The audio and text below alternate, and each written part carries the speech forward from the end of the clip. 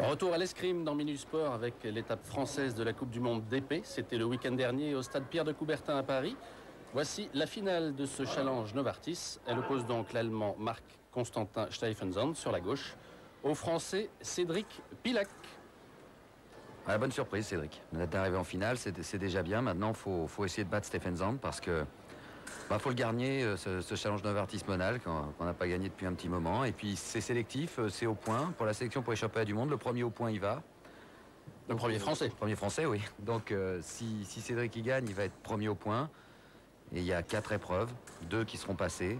Donc il aura fait un pas vers les championnats du monde.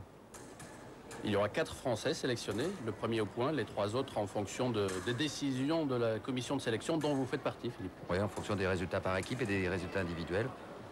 On n'est pas systématiquement euh, que les points, que les points. Et là, on voit les, une touche double, un engagé dégagé de Stephen Zand. les deux tireurs qui ne sont, pas des jeunes tireurs, qui ont de l'expérience quand même, s'examinent un petit peu comme un premier round en boxe où on regarde un petit peu comment tire l'autre, puisque c'est les mêmes mots, on dit, on dit tirer aussi. Et euh, il reste bien grande distance, pas prendre de risques, voir quelles sont les failles, les avantages de l'autre. Paradoxalement, effectivement, on pourrait dire que meilleur le match est et plus bas le score se trouve, parce qu'on s'observe, c'est beaucoup plus tactique. C'est plus tactique, ils se connaissent plus. Euh, bon, Pipi a un désavantage, c'est que lui, il est des deux alentours de la 50e place mondiale. Voilà, il vient de prendre un coup droit à la main. Donc lui, il a commencé le samedi, après-midi à tirer dans les éliminatoires, alors que Stephen Zand, numéro 4 mondial avant le Novartis Monal, lui, en fait, pour gagner le Monal, n'a que 90 touches à mettre, alors que, que Pillac en aura fait 130, quoi. Donc il est un peu plus usé physiquement que Stephen Zand, mais à ce niveau de préparation, à la préparation qu'ils ont à l'INSEP avec les, les Mexicains à Ribou, ça ne devrait pas poser de problème. Mais pour le moment, il est mené 2-1, donc il va falloir qu'il construise un petit peu plus. Nous sommes à la moitié du premier sertant. Il est né le 19 novembre 73, Pilac, tandis que l'Allemand, lui, il est né en mai 66. Effectivement, ce ne sont pas les tout jeunes qui s'affrontent dans cette finale devant 4500 spectateurs à Coubertin. Très belle ambiance encore ce dimanche, donc quasiment 2000 jeunes et on peut souligner là le travail euh, de la fédération et celui de son président Pierre Abric qui fait beaucoup beaucoup pour euh, attirer les jeunes vers l'escrime. Bah, il vaut mieux hein, parce que les autres sports aussi le font. Hein. Bah, pour le moment, c'est encore de l'attente. il, y a, trois tiers-temps. Hein. Il y a trois tiers-temps de 3 minutes. Celui qui mènera à la fin des trois tiers-temps de 3 minutes aura gagné. Ou le premier qui sera arrivé à 15 touches. À ce niveau-là, en senior, souvent, ça se joue à une ou deux touches. Euh, et là, pour le moment, Pillac qui est mené 2-1, il n'y a rien de perdu pour le moment. Mais il n'a pas tellement de solutions offensives. Vous voyez, il n'arrive pas à créer. Il, essaie de s'infiltrer dans la garde de, de Stephen Zand qui maintient la distance. Et Pillac n'arrive pas à monter. Alors peut-être qu'il va attendre la fin du premier tiers-temps. Voilà, ils font une double. Ça, c'est l'Allemand qui a pris l'initiative. Peut-être que Pillac va attendre la fin du tiers-temps pour pouvoir en discuter comme Stephen Zand le fait là avec son maître d'armes. Pour en discuter pendant la minute de repos où on a le droit d'avoir des conseils. Beaucoup de doubles hein, pour Stephen Zand. On l'a vu déjà en demi-finale. Il en avait fait 5. Est-ce qu'il y a une tactique de sa part vraiment pour, pour y arriver?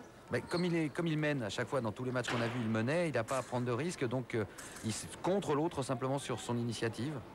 Et souvent, on fait des doubles en faisant ça. Vous voyez, il est dans ces deux mètres, la petite zone dorée sur la gauche de la piste. On ne peut pas reculer plus loin que cette zone. Si on recule derrière, on est touché. Donc Stephenson, le but de Pillac, c'est quand même de pousser Stephenson à gauche. Et là, Stephenson fait exactement la même action. Il fait engager, dégager.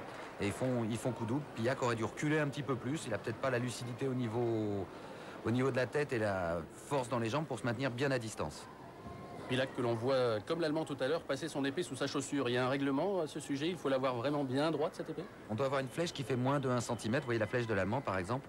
Là c'est l'action qu'il a fait, il a fait engager, dégager, il y a eu double. Moins d'un centimètre parce qu'il ne faut pas faire la canne à pêche. Il ne faut pas partir à la pêche comme avec une canne à pêche et fouetter par-dessus la coquille de l'épée.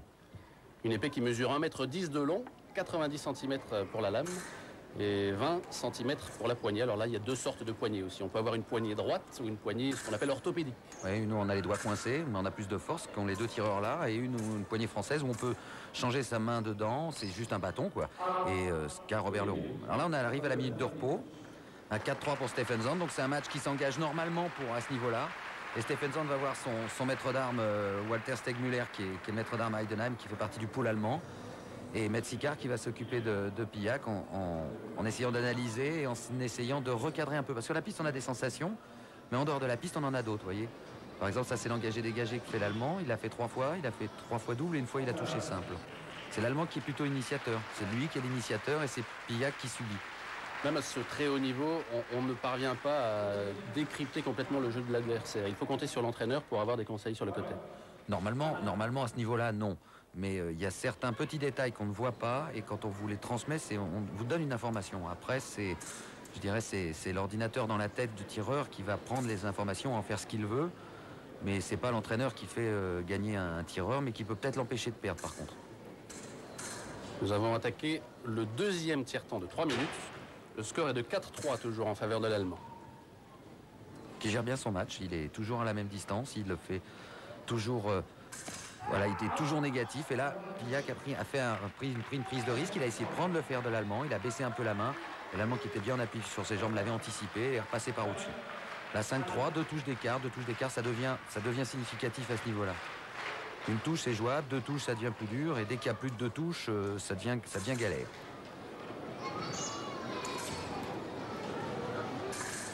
là, Cédric a décidé de faire un peu plus de jeu. On voit qu'il presse un peu plus, qu'il change ses déplacements, qu'il fait des variations de temps. Et qui va pas toujours avec le même rythme lent. Il fait fin de, je reviens, je repars, je viens, je repars. il y a plus de jeu au niveau des jambes. Et hop, la main. Oui, il a prise sous la main. Ça, c'est très très bien fait de la part de Stephen Zand. Ça, c'est sa grande force, c'est tout chose avancée. Regardez, hop, dessous, paf, sous la main, il la met. Elle est très jolie en plus. Ce sont de fort beaux gabarits, n'est-ce pas? 1m87 l'allemand et 1m86 euh, le français. Je suppose que plus on est grand à l'escrime, plus on a le bras long et meilleur on est. Oui, ça aide, ça aide quand même. Hein. Eric Sreki, il, a, plus d'un mètre 90. Mmh. Et euh, quand on est petit, il faut être, faut, être beaucoup plus vite. C'est un peu comme si euh, vous aviez en basket, vous avez un 2m10 et vous avez un Luxi, un, 1m60. là, c'est Cédric qui a pris l'initiative enfin. Car enfin, il a réussi à, comprendre le jeu et anticiper sur ce qu'allait faire Stephen Zand. Et ce qu'il avait raté tout à l'heure, il fait la même chose. Il fait engager et après, il va prendre le fer. Voilà, bouf. C'est lui qui a l'initiative. Le problème, c'est d'avoir l'initiative et de gagner un temps. 6-4, c'est pas fini. Hein. 6-4 pour Stephen Zand, mais qui gère bien Stephen Zand. On a l'impression que c'est un peu, un peu passé à la moulinette. On a l'impression que c'est inexorable là dans le match, mais bon, il faut, faut pas grand-chose, une petite étincelle, un petit coup de folie, une perte de confiance de l'Allemand et ça peut basculer. Est-ce qu'on a déjà vu un Allemand perdre confiance? Ah oui, rarement, mais ça. peut arriver. Est-ce qu'il y a une école allemande? Parce qu'on a parlé de l'école euh, russe, l'école cubaine. Euh, ils étaient absents d'ailleurs. Il faut le souligner ce dimanche euh, à Coubertin. Un coup double qui nous ramène à 7-5 ici. Est-ce qu'il y a une école véritablement allemande de, l'escrime comme on peut parler de l'école française? Oui, il y a un, petit peu quand même. Pense à des gens comme Emile Beck qui a monté le, club de Tauber-Bischofsheim ou, Steg Müller qui est qui est à Heidenheim. C'est beaucoup plus en force, c'est beaucoup plus marqué sur la puissance, moins sur les déplacements de jambes. Alors que les Italiens et les Français, c'est plus avec une certaine mobilité et une volonté offensive. Les Allemands sont plus contre-offensifs. Ce qui fait des matchs amusants d'ailleurs, parce qu'il y en a un qui est très défensif, l'autre qui est très offensif. Et quand il y a une opposition de style, ça donne quelque chose. Si on était dans le même registre, ce serait presque pas drôle. Mais Pipi fait pas partie des, Français les plus, les plus offensifs. Il est très contre-offensif. Il fait une première attaque pour amener une réaction, vous voyez, comme celle-là. Il fait une première marche pour amener la réaction allemande, pour essayer de le contrer. L'Allemand monte bien la main, continue bien son action offensive et maintient toujours la double et maintient l'écart à 8-6. On a l'impression que Pillac avait bien commencé ce tir-temps avec une volonté au niveau des jambes et que plus le tir-temps passe, moins les jambes suivent. Ouais. Il doit commencer à accuser la fatigue, Pillac, dans cette finale. Alors que l'Allemand, lui, qui rencontre son quatrième français consécutif, eh bien, il maîtrise, il gère bien. Et tiens, pour une fois, c'est lui qui semblait vouloir sortir euh, de sa moitié du terrain. Il retourne en arrière. Et, là, il est coincé. Là, il a été coincé. vous avez vu Pipi qui a pu lui faire engager, dégager. Il était coincé, il pouvait plus reculer l'Allemand. C'est un peu la tactique que devrait faire Pillac. C'est mettre Stephenson dans ses deux mètres et lui faire un pressing de façon à pouvoir l'empêcher de s'en aller quand il attaque. Allez, 8-7. Il reste moins de 30 secondes dans ce deuxième tiers-temps. Tout est encore jouable pour le Français Cédric Pillac sur la droite. Est-ce qu'on va enfin avoir un tricolore vainqueur de ce challenge monal. Le dernier, on l'a dit, c'était Eric Sreki, donc sorti par euh, Pilac le matin même. C'était en 1993. Et là, on refuse un petit peu le combat. On attend, il vaut mieux gérer la fin de, son tiers-temps plutôt que de prendre des risques. Absolument, là, ils savent qu'il reste que plus de 3 secondes, donc euh, ils vont prendre leur minute de repos. 8-7, euh, il reste plus que 3 minutes, il y a 3 minutes pour gagner, une touche d'avance pour l'Allemand, rien n'est joué, tout est possible. Une minute donc de repos avec de nouveau les bons conseils de maître Michel Sicard. Et ici, la belle touche de Pilac tout à l'heure qui le ramenait à 8-7. Qu'est-ce qu'il fait là, l'Allemand, sur son épée? Là, il a débranché son épée, c'est-à-dire qu'il avait, pour peut-être décontracter la main, il, s'était débranché. C'est le fil électrique qui permet le contact de la pointe quand on touche. Et c'est un fil, on peut débrancher. Euh, vaut mieux pas le débrancher en match parce que sinon on touche plus. Hein. On n'a plus le droit d'ailleurs de vérifier soi-même son épée. En... Oui, ça fait gagner du temps. On n'a plus, on a plus ces interruptions qu'on avait. Euh, les tireurs viennent avec des armes déjà vérifiées, avec des fils de corps déjà vérifiés. Et ce sont les arbitres qui leur amènent les épées sur la piste. Il n'y a plus euh, tout ce cirque qu'il y avait à mon époque et qu'on exploitait tactiquement, mais qu'on ne peut plus faire. Et que j'aimais bien faire, mais je pas bien. Est-ce que c'est une manière un petit peu de, jouer l'intox quand on est par exemple là dans le dernier tiers-temps, un seul point d'écart, on, joue l'intox on, Oui, on casse le rythme. On casse le rythme. On s'aperçoit qu'on se fait remonter, on casse le rythme. Et là, vous voyez Stéphane Zand, on voit qu'il est, qu'il est, qu'il est, qu'il est, qu'il est, qu'il est usé, enfin qu'il est vieux, qu'il a de l'expérience, parce que c'est lui qui mène et il fait semblant de faire un pressing. Mhm. En fait, il fait rien du tout là. Mais il emmène Pillac à droite, vers son côté de terrain, pour lui faire croire, je vais te faire quelque chose. Il le fait, mais sans le faire. Il le fait, il le fait pas vraiment. Il le fait pour faire croire qu'il a changé de tactique. Or, je suis persuadé que dans sa tête, il n'a pas du tout changé de tactique. Mais là, il pose la question à Pillac en disant Qu'est-ce qu'il me fait, Stéphane Zand Normalement, il devrait pas me faire ça, il me fait un truc pas normal. Et là, il a gagné, il a gagné 40 secondes. Il a gagné du temps, exactement. Et avec une double, encore une fois, il maintient l'écart d'un point. On en est à 9-8. Et puis, il doit bien sentir quand même qu'en face de lui, Cédric Pillac euh, commence à accuser sérieusement la fatigue. Oui, parce que Pipi n'arrive pas à mettre le rythme. C'est Stéphane Zand qui met le rythme, un faux rythme d'ailleurs. Et même avec son faux rythme, alors qu'il n'est pas très vite sur son action et qu'il voulait pas vraiment y aller à fond, il arrive à la mettre. Stéphane Zand, il a posé problème dans la tête à Pipi, c'est-à-dire que Pillac n'a pas su euh, euh, n'a pas su savoir est-ce que j'y vais, j'y vais pas, j'y vais, j'y vais pas, est-ce qu'il a changé, pas changé, il est un peu perdu. Et là, par son intelligence, Stephen Zand a pris deux touches d'avance maintenant. Il est à 18, il reste plus que deux minutes de match. C'est encore jouable, deux minutes. Tiens. La preuve. Et voilà. Et voilà. Et bah tiens, prends ça. Moi aussi, je suis un Allemand. Je vais faire une remise. Ah, quand on prend l'initiative, c'est différent. Ça peut payer. La preuve, là, il va faire, il va faire un peu la même que tout à l'heure. Il va faire un engagé. Et il va rester avec le fer, avec une petite reprise par bras court. Mais c'est lui qui a l'initiative des jambes, c'est lui qui est parti, c'est lui qui a décidé. Il n'est pas parti quand on lui a demandé, c'est lui qui tout seul, spontanément, a préparé son action. Et de la même chose. la même chose. C'est lui qui décide de partir et non pas qui répond à une sollicitation adverse. Et là, vous entendez le public, c'est plus de 4000 spectateurs présents dans le stade Pierre de Coubertin dimanche après-midi qui encouragent Pilac. Il est revenu à égalité 10-10 à moins de deux minutes de la fin de cette finale du Challenge Monal. Alors là, Piax, il, il, peut, mettre le feu. Là, ça, il met la touche à l'allemand maintenant. Euh, ah là, ça change tout. Ah oui, ça change tout parce qu'il en aurait pris trois de suite. Ah, mais il la rate. Il a un peu bras court, il la rate. Et là, vous voyez la différence par rapport à tout à l'heure, c'est que c'est Stephen Zand qui est parti avant Cédric. Et non pas Cédric qui est parti. Cédric n'est pas vraiment parti, il est parti à moitié.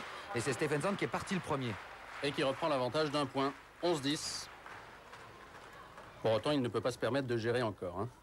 Ah, on se dit ça suffit pas, faut pas gérer, faut. Et là pourtant là, c'est un peu la même chose. Il y a une petite retenue dans l'action de, Cédric. Il se fait toucher par un compte de Stephen Zand qui passe par en dessous. Mais euh, si vraiment il y va à fond, il va sur sa cible directement, il aurait pu toucher Cédric. 12-10, ça devient compliqué. Pourtant l'intention est bonne de, Cédric à la base. Il attaque? Peut-être que les jambes vont plus aussi vite qu'au début. Voilà, pareil, là, vous voyez, c'est lui qui est sur le retenu, il est sur le reculoir. Et euh, il y, a Stephen Zand qui le, met dans les cordes. Et euh, à un moment, il, se bloque sur la jambe arrière. Il peut plus partir. 13-10 pour Stephen Zand. C'est un match qui, pourrait tourner dans l'autre sens aussi quand, quand, Cédric est revenu à 10-10. Mais là, je ne vois pas s'en sortir. Surtout que l'Allemand tire bien.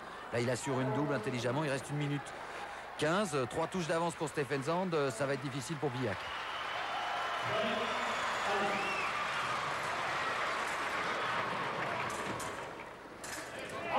Et là, il assure la double encore. Et 15-12, c'est un beau vainqueur, Stephen Zand.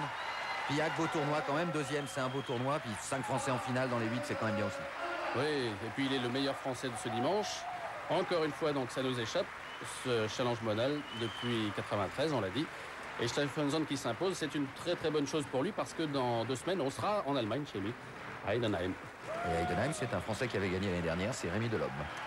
Une précision, il y avait également la Coupe du Monde de sabre ce dimanche. C'était à Boston aux États-Unis. Touya a terminé 5e et Jean-Philippe Dorel 6e. C'est un Italien qui s'est imposé. J'avais prévu de, faire un match plutôt euh, cool physiquement parce que la demi-finale avait été très dure. Euh, j'avais fini euh, à l'arraché. Et donc je m'étais dit il faut, serrer au maximum le score et donc limiter l'écart pour sur la dernière manche essayer de, jouer un peu un coup de poker. Mais bon, ça s'est pas passé trop comme je voulais. Je remonte à 10-10, ça m'a demandé beaucoup d'énergie. Et après, bah, la lucidité euh, m'a fait un peu défaut et je pêche deux, trois fois sur la distance et puis euh, il saisit bien l'opportunité. quoi. The last, uh, Dans le dernier tiers, j'ai commencé à être fatigué. Et Cédric venait de plus en plus près. Alors euh, j'ai jeté mes dernières forces et j'ai pu aligner les cinq euh, touches ultimes. Les spectateurs ici sont très impressionnants. A- Ailleurs dans le monde, il n'y a aucun public égal à celui de Paris. La salle est pleine de supporters, des Français et surtout, mais j'ai quand même entendu quelques encouragements pour moi. Ça a renforcé ma motivation pour m'imposer.